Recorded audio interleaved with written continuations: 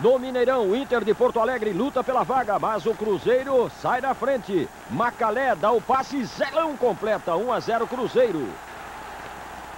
Agora lançamento de Macalé para Edenilson ganhar do zagueiro e ampliar 2 a 0 Cruzeiro.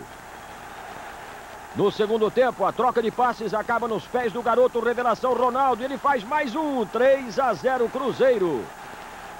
Tá fácil, Ronaldo lança Edenilson.